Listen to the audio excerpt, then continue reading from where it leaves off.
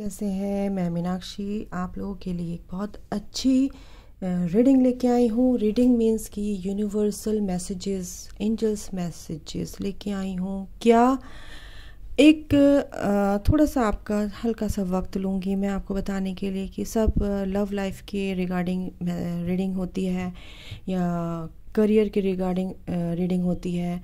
आज पता नहीं क्यों मेरे को गाइडेंस मिला तो मैंने ये सोचा, क्यों ना उस पर रीडिंग की जाए, वो चीज़ें बताई जाए मेरे व्यूवर्स के लिए कि अगर लाइफ को कैसे अच्छा बनाया जाए, हम कहाँ पे हम गलती करते हैं? मेरे व्यूवर्स कहाँ पे अगर गलती कर रहे हैं? या हम लोग कहाँ पे गलती करते हैं उसमें इंक्लूडिंग मी और हम लोग गलती करते हैं, उसको गलती को गलती ना मान के इग्नोर करते हैं, क्योंकि हम लॉजिक से सोचते हैं, हमें क्या करना चाहिए, क्या नहीं करना चाहिए?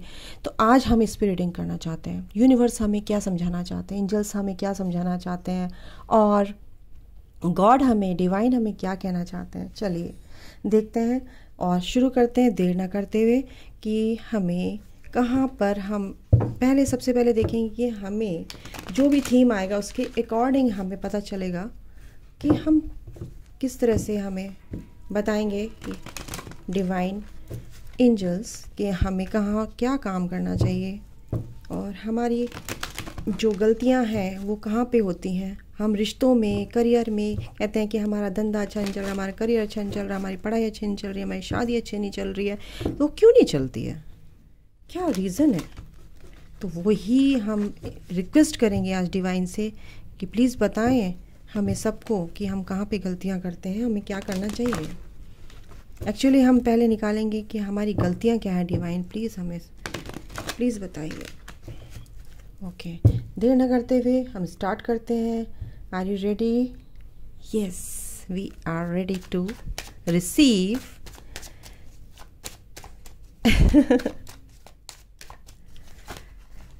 और lots of information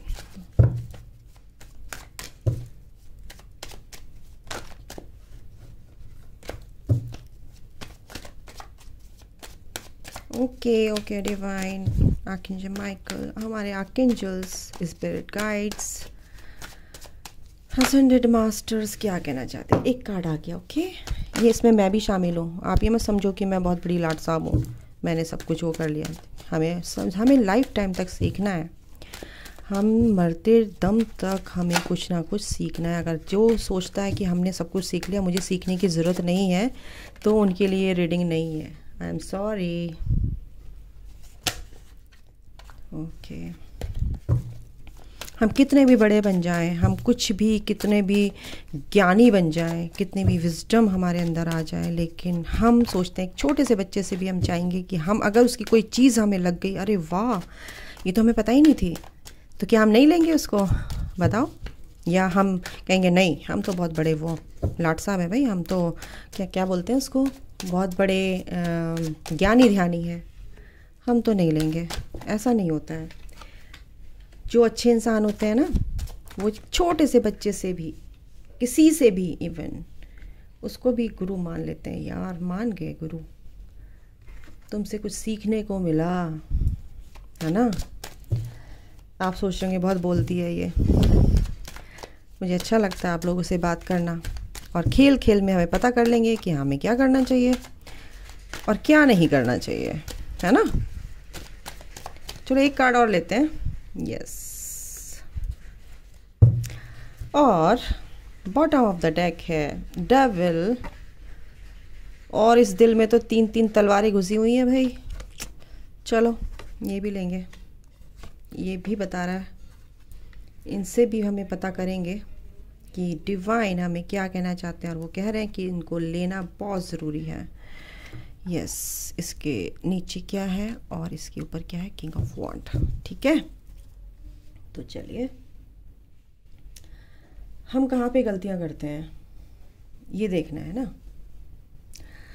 शांति से बात करते हैं ओके जल्दीबाजी नहीं करेंगे। कार्ड्स निकाल लेते हैं। ये भी बहुत प्यारे कार्ड्स हैं। तो इनसे भी हम पता करेंगे कंफर्म करेंगे कि हमें करना क्या चाहिए। रिफ्लेक्शन सबसे पहला कार्ड है, हमें क्या नहीं करना चाहिए? तो हम दो कार्ड लेंगे, हमें क्या नहीं करना चाहिए? और दो कार्ड लेंगे, हमें क्या करना चाहिए? डिवाइन की हेल्प से। उनकी क्या गाइडेंस है, क्या मैसेजेस वो हमें देना चाहते हैं लाइफ में, ताकि हमारी लाइफ बहुत स्मूथ गोइंग हो।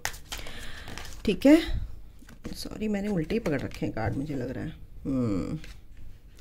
ओके एनजाइटी रिजेक्शन ओ ओ ओ ओ कोई बात नहीं। बहुत अच्छे कार्ड दिए हैं डिवाइन ने। जैसे हम है ना, ऐसे दिए हैं। और कह रहे हैं, तमीज़ में आ जाओ। सुधर जाओ।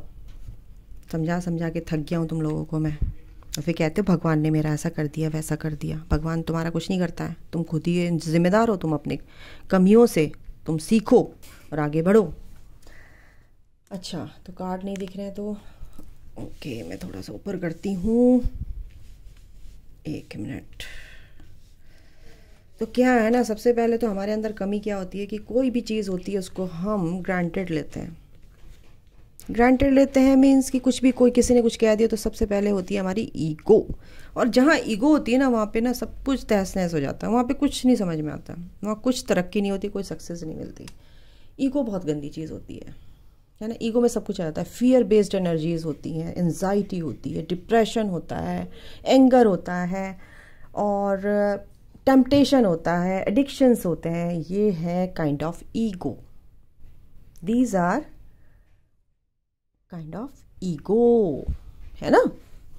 तो these things are kind of ego तो ये ईगो जो होती है, हमारे रास्ते में दीवार बन जाती है। हम ओवर थिंक करने रहते हैं। ये भी एक ईगो है कि ओवर थिंक तब करता है इंसान कि वो सोचने में मजबूर हो जाता है, इसने मेरे को अगर गंदा बोला तो ऐसा क्यों बोला? ऐसा मैंने क्या कर दिया? जो मैं तो ऐसा हूँ ही नहीं, क्योंकि अपनी कमियाँ इंसान को कभी नहीं दिखती हैं। अपने आप ये भी सबसे बड़ी ईगो होती है। अगर वो कोई भी इंसान ऐसा सोचता है, आपको मैं बता दूँगा इस कि मेरे अंदर तो कुछ भी नहीं है, मैं तो ऐसी नहीं हूँ, लेकिन फलाने ने मुझे ऐसे बोला तो कैसे बोला? हिम्मत कैसी हुई इसकी ऐसे बोलने की? तो सबसे पहले बात तो आप समझ लेना कि आपके अंदर बहुत बड़ा ईगो है। अगर चीज़ों को आप एक्सेप्ट कर लेते हैं, उसने बोला, यार, मुझे कोई फ़र्क नहीं पड़ता, मैं ऐसी हूँ, नहीं, कोई बात नहीं। लेकिन अगर उसने बोला है तो कुछ सोच समझ के बोला, ये मेरे अंदर, क्योंकि आपके अंदर जो एनर्जीज होती हैं गंदी, या पॉजिटिव एनर्जी या नेगेटिव एनर्जीज वो रिफ्लेक्शन आपको बाहर मिलेगा, वो रिफ्लेक्ट करेगा, वो दूसरे लोग आपको आईना दिखाएँगे। समझ रहे हो मेरी बात क्या कहना चाह रही हूँ? वो आईना आपको बाहर वाले दिखाएँगे। आप शीशे के सामने खड़े होते तो आप ही तो दिखते हैं। हुँ? कोई दूसरा थर्ड पार्टी तो नहीं दिखती है ना? ये आपका पड़ोसी तो नहीं दिखता? फ़ोटो में तो आप ही दिखते हैं, शीशे में आप ही दिखते हैं। तो आपका रिफ्लेक्शन है ना वो? तो फिर जब आपका वो बाहरी शरीर का रिफ्लेक्शन है तो आप अंदर का भी तो एक कैथरिक बॉडी हमारी अंदर की होती है, वो भी रिफ्लेक्शन आपको लोगों के अंदर जो होता है, वो मिरर करते हैं।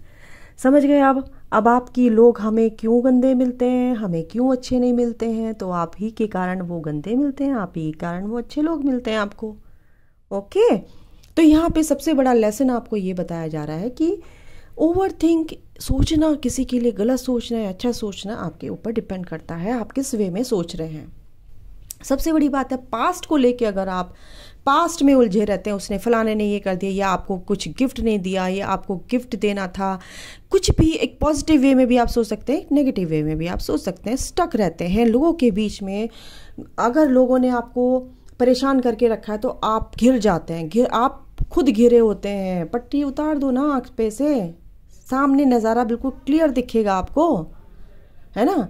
दिल की नहीं सुनते, दिमाग से भी नहीं सुन रहे हो, बिल्कुल बिल्कुल बहरे भी हो गए हो, बिल्कुल कुछ सुनते ही नहीं हो, और आप सोचते हो कि मैंने बैलेंस बना रखा है लाइफ में, मैं चला रहा हूँ लाइफ को? नहीं।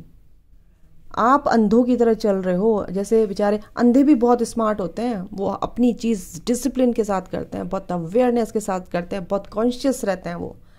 लेकिन आँखों के रहते भी आप आँखों के बिना आँखों के रहते हुए भी आप अंधे बन के रहते हो, क्योंकि आपको आसपास क्या है? कॉन्शियसनेस आपको समझ नहीं आता है कि मैं किस कॉन्शियसनेस में हूँ, है ना? लोग आपका दिल तोड़ते हैं। हमें ये बोला जा रहा है सबसे पहले कि जो चीज़ आपको हर्ट करती है वो आपकी है ही नहीं। आपको हर्ट वही चीज़ करेगी जो आपके अंदर है चीज़ें। अगर आपके अंदर क्या कहते हैं, किसी तरह की बीमारी है, कोई परेशानी है, दर्द है, वो आपका है। वो किस अगर आपको दर्द हो रहा है तो वो दूसरों के नहीं होगा। अगर आपको हर्ट हुआ है तो वो आपके अंदर पहले से ही है वो दर्द। तभी आपको दिया गया है। वो एनर्जी, वो सामान आपके अंदर पहले से ही मौजूद है। वो मिट्टी का कहते हैं ना कि धरती के अंदर पानी निकलता है दबा हुआ है। आप ऊपर चल रहे हैं तो आपको पता नहीं चलेगा। आप आप ये सोचेंगे ना कि धरती के अंदर तो पानी है ही नहीं। ये तो सूखी मिट्टी है, लेकिन आप खोदेंगे खोदेंगे खोदेंगे खोदेंगे। खूब गहरा खोदते हैं तब जाके पानी मिलता है, लेकिन होता तो है ना। तो यही कारण है, वो दर्द भी आप खो देंगे। बहुत डीप सेल में आपके अंदर वो चीज़ होती है, वो चीज़ आपको जब आप कहते हैं ना कि भगवान का नाम लेते हैं कॉन्शियसनेस में आते हैं, भगवान किसे प्रार्थना करते हैं तो भगवान वो दर्द आपका निकाल के आपको दिखा देता है, पहले इसको ठीक कर ले। तेरी सारी चीज़ें ठीक हो जाएँगी। वो जजमेंट तेरे साथ हो जाएगा, जो तूने किया है। देखो, भगवान को भी यहाँ पे कर्मों का हिसाब देना पड़ा था। कृष्ण, भगवान को भी तो हम तो बहुत मामूली से इंसान है ना। आप लोग सोचते हैं कि क्या कहते हैं, लोग मुझे धोखा देते हैं, धोखा देते हैं, धोखा देते हैं, लेकिन एक बात समझो, जो चीज़ आपकी है ही नहीं, अगर वो किसी और की है तो वो चीज़ अगर आपके पास से चली जाती है तो आप सोचते हैं, इस इंसान ने मेरे को धोखा दिया। फॉर एग्ज़ाम्पल अगर आप किसी भी तरीके से किसी से प्यार करते हैं, ठीक है? एक साल चला आपका आपका रिलेशन एक साल चला। अब ये बॉयफ्रेंड और गर्लफ्रेंड का रिलेशन ही होता है। कनेक्शन तो होता ही नहीं आजकल। कनेक्शन क्या होता है? सोल टू सोल कनेक्शन होता है। ये कनेक्शन तो किसी के यहाँ दिखता ही नहीं है। बस थोड़ा सा एक अटैचमेंट हुआ, एक अट्रैक्शन हुआ और समझ जाते हैं, यार, मेरे तो बहुत बड़ा इससे रिश्ता है। मेरा तो मैं तो इसके बिना जी नहीं सकता। मर गई मैं तो वो हो गया। तो ये सब चीज़ें जो है ना, आप सोचते हैं ये चीज़ें हम अगर अपनी लाइफ में लेके आते हैं तो ये मेरी है, ये मेरा है, ये मेरा है। आपका कुछ भी नहीं है, आपका शरीर भी नहीं है। आपकी आत्मा भी आपकी नहीं है। ठीक है? आपकी आत्मा भी उस ईश्वर की है, उस ईश्वर के ही अंश हो। आपका यहाँ पे कुछ नहीं है ज़ीरो बट्टा सन्नाटा। आपको सिर्फ़ यहाँ पे एक उधार की ज़िंदगी है, उसको ठीक से जी के आपको वापस अपने घर जाना है। कहाँ जाना है? जहाँ से आप आए हैं। तो यहाँ पे क्या है? आप स्कूल में जाते हैं क्या करने जाते हैं? पढ़ के अपने घर वापस आ जाते हैं। स्कूल में थोड़ी ना बैठे रहते हैं जब तक फाइनल एग्ज़ाम नहीं होते हैं। नहीं ना? तो स्कूल किस लिए? ये भी धरती हमारा एक प्लानट ही है। ये स्कूल की तरह हमें यहाँ पे भगवान ने छोड़ा। भाई सीखो और आ, मेरे पास आ जाना। तुम सोच रहे हो ठीक है घूम के आता हूँ। चलो वहाँ पे ऐसे लेसन लर्न करने होते हैं ऐसे कर्मा होते हैं वहाँ पे क्रिएट होते हैं फिर दोबारा जन्म लेना पड़ता है तो फिर सीखना है तो ठीक है। जाओ तुम लोग। सीखो। तो फिर आप लोग कहते हैं कि, क्या कहते हैं, ये भगवान, हे भगवान हाँ हमारा ये सब कर दिया। तो ये जो चीज़ है ना, ये चीज़ ये चीज़ भगवान कहते हैं, ये आपकी है, मेरी नहीं है। अगर आपको चोट लगी है तो उठो। अच्छे माँ बाप क्या कहते हैं स्ट्रांग बनाने के लिए, चल उठ, कुछ नहीं लगा, कुछ नहीं हुआ, खड़ा हो जा, कुछ नहीं होता। थोड़ी सी चोट है, ठीक हो जाएगी। कुछ लोग बहुत पैम्परिंग करेंगे आई मेरे बच्चे को चोट लगी ये लगी, वो बच्चा कभी भी सक्सेस नहीं हो सकता। वो कभी स्ट्रांग नहीं बन पाएगा। वो अपने पैरों पे कभी खड़ा ही नहीं हो पाएगा। उसको डिपेंडेंसी की आदत रहेगी। उसको अपने माँ बाप के ऊपर ही बस रहेगा कि मैं मेरे जो भी हैं मेरे बड़े हैं और मैं कुछ नहीं कर सकता। तो आप ऐसा बनना चाहते हैं तो ठीक है कोई बात नहीं भगवान कहता है ठीक है मैं फिर ऐसे लोगों को ऐसे ही छोड़ देता हूँ ठीक है आप अपने आप आ, क्या कहते हैं अगर आप डिपेंड रहना चाहते हो तो डिपेंड रहो स्ट्रांग नहीं बनना चाहते तो फिर मैं क्या कर सकता हूँ? फिर वो लोग रोते ही रहते हैं। फिर उनका उनका दिल ना ऐसे ही टूटता रहता है और फिर वो रोते ही रहते हैं। वो चारों तरफ़ से ऐसे ही घिरे रहते हैं। नेगेटिविटी से, ठीक है? उनकी कभी भी नई शुरुआत हो ही नहीं सकती, क्योंकि वो बंधे रहते हैं ना। वो बंधे रहते हैं, उनका दिल टूट वो ऐसे ही हर्ट रहते हैं रोना, धोना, उनका सारी लाइफ टाइम तक ऐसे रहता है। भगवान कह रहे हैं, ऐसे अगर इंसान अगर रहते हैं और कहना नहीं मानते हैं कि मैं तो उनको राह दिखाता हूँ, लेकिन मेरी राह पे चलने के लिए तैयार नहीं होते हैं, और फिर कहते हैं कि जजमेंट कब होगा? मेरे को न्याय कब मिलेगा? है ना? कुछ लोग यहाँ पे बहुत अच्छे भी होते हैं, उनके साथ अच्छा जजमेंट होता है। कुछ लोग जो ऐसा सोचते हैं कि धोखा देने से ही काम चलेगा, ऐसे लोग भी होते हैं तो उनको वैसा जजमेंट मिलता है। ये चीज़ें हम कह रहे हैं। तो अगर हमने ये चीज़ें देख ली कि हमारी लाइफ में क्या चीज़ अच्छी है, क्या चीज़ हमारे लिए बुरी है, और भगवान हमसे क्या कहना चाहते हैं, अपनी इंट्यूशन को कैसे यूज़ करना है तो हमें कभी दुख मिल ही नहीं सकता। जो दुख होता है, वो भी हमें दुख नहीं लगता। समझ गए आप? वो भी दुख, हमें दुख नहीं लगता। क्योंकि हम समझ जाते हैं, जब हमने हाथ ही पकड़वा दिया भगवान को तो भगवान अपना आप संभालेगा ना। Surrender to God totally surrender कर देना चाहिए। जो चीज़ आपके कंट्रोल आपके कंट्रोल में है, जो चीज़ है, आपके कंट्रोल में खाना है, आपके कंट्रोल में नहाना है, आपके कंट्रोल में काम करना है, कितना पैसा मुझे मिलेगा, कितना मैं मेहनत कर सकती हूँ, कितना, वो सब आपको सरेंडर करना पड़ता है, कर्म करना है, बाकी रिज़ल्ट आपको ऊपर वाले के हाथ में छोड़ना है। लक कहते हैं ना, बहुत लकी हूँ मैं। लकी क्यों बोलते हैं? आप भगवान को सरेंडर्ड हैं। इसलिए आप बोलते हैं कि मैं लकी हूँ। आप बस काम कर रहे हैं, अच्छी से अच्छी जॉब में इंटरव्यू दे रहे हैं, पढ़ाई कर रहे हैं। तो अगर आपने सरेंडर कर रखा है अनकॉन्शियसली आप सरेंडर्ड हो जाते हैं तो भगवान आपकी हेल्प करते हैं। भगवान कहते हैं कि अगर सही राह पे इंसान चलता है तो मैं उसकी हमेशा मदद करता हूँ। ठीक है? तो ये चीज़ें होती हैं कि जो हम कहाँ पे गलती करते हैं, हमारी लाइफ क्यों हेल हो जाती है? ठीक है? क्यों हम लोग गलत चीज़ों को अपना लेते हैं? क्यों हम एडिक्शन में चले जाते हैं? और जहाँ पे ये चीज़ें अगर आती हैं तो हम एडिक्टेड हो जाते हैं किसी भी चीज़ के। या तो लस्ट हमारे अंदर ज़्यादा हो जाएगी, या फिर हम लोग क्या करेंगे कि बिल्कुल स्टक हो जाएँगे, बिल्कुल सुनेंगे नहीं किसी की, नहीं मेरे को नहीं सुननी, डर, एक फियर बेस्ड एनर्जी देखो इंसान बहुत टैलेंटेड होता है, बहुत कुछ करना चाहता है, लेकिन वो सोचता है कि मैं तो बंद गया हूँ। इस, इसकी सुनूँ, उसकी सुनूँ, इसकी सुनूँ, उसकी सुनो। तो आप अपने मन की सुनो, अपनी आत्मा की सुनो, अपने दिल की सुनो। और इन नेगेटिव ये जो चे, ये जो बंदिशें हैं ना, इन बंदिशों से आज़ाद होने के लिए भगवान कहते हैं कि फ्री हो जाओ। ठीक है? तो अगर आप अपने पे मेहनत करेंगे, मेहनत का फल वो देगा, लेकिन आपको मेहनत करनी है। कर्म करते जाओ, मेहनत का फल ऊपर वाला देता है। तो आपको, कहते हैं ना कि मसरा, मस्ती में आग लगी बस्ती में, और आपको सपोर्ट मिलता है। ये होता है सरेंडर मोड इसको पता है कि मैं आगे गिरने वाला लेकिन फिर भी इतनी मस्ती में है कि इसको पता है कि मुझे यूनिवर्स थाम लेगा। मुझे कोई ना कोई संभालने वाला है। कोई सपोर्ट है मेरे साथ। लेकिन बस चल रहा है, अपनी मस्ती में चल रहा है, शांति से चल रहा है पैशन भी इसके पास सब कुछ है, सब कुछ। लेकिन इसको विश्वास है, अंधा विश्वास है भगवान पे। ठीक है?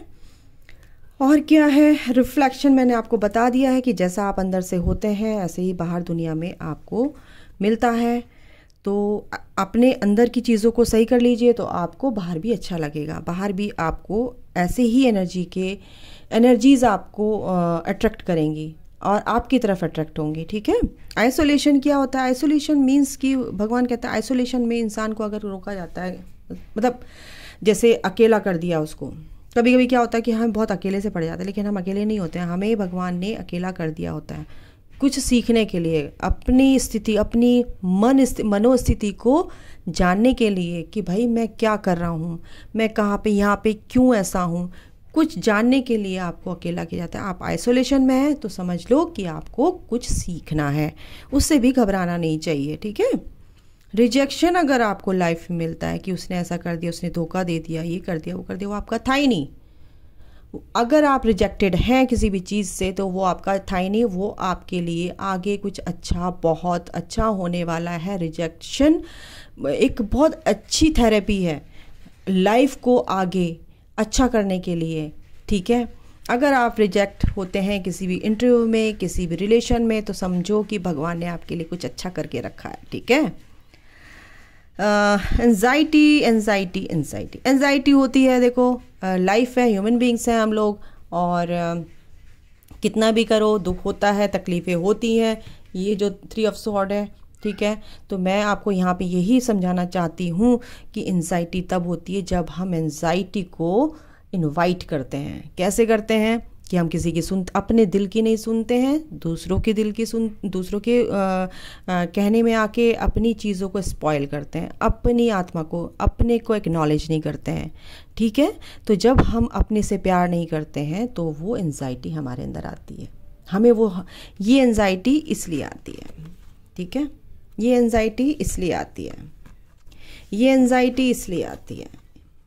एनजाइटी के बहुत सारे कारण हैं। दिल टूट गया या समझ नहीं आ रहा, ठीक है? क्या, कहाँ जाऊँ, क्या करूँ? ये तब होता है जब आप अपनी इंट्यूशन की नहीं सुनते हैं।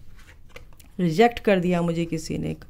तो तब जाके आपको ये एनजाइटी होती है या ऐसे स्टक हो जाते हैं, ऐसी नेगेटिविटी से घिर जाते हैं। आप समझ नहीं आता, रास्ता ही नहीं मिलता आप लोगों को, क्या करें, क्या नहीं करें। तो यूनिवर्स आपको ये कहना चाहते हैं, आपकी सक्सेस सिर्फ़ किसमें है? आप अपनी इंट्यूशन की सुनो, अच्छे से रास्ते पे चलते रहो, कर्म करो, फल की इच्छा मत करो अच्छा सोचो अच्छा करो मल्टीप्लाई रिफ्लेक्ट होके आपकी तरफ़ वो चीज़ अच्छे से आएगी। रिफ्लेक्शन यानी कि जब आप बुरा करते हैं, बुरा आता है तो जब आप अच्छा करेंगे तो उसका रिफ्लेक्शन भी आपको इनफाइनाइट रूप से मल्टीप्लाई होके आपके पास आएगा ही आएगा। ओके एंजल गाइडेंस देख लेते हैं, एंजल्स क्या कहना चाहते हैं? अगर कोई आपका क्वेश्चन है तो आप अपने मन में सोच लीजिए और एंजल्स आपका जवाब देंगे, ठीक है? तो ये आपकी आज की गाइडेंस थी, ठीक है?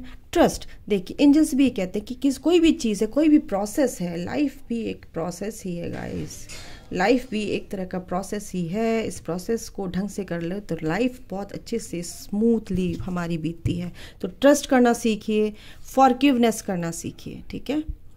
ईश्वर कहता है एंजल्स भी कहते हैं कि अगर कोई भी काम कर रहे हो तो उस पर ट्रस्ट करना सीखो और लोगों को फॉरगिव नहीं कर सकते हैं। बहुत मुश्किल होता है। आजकल लोग कहते हैं, कैसे माफ़ कर दूँ? उसने तो मेरा ऐसा कर दिया था।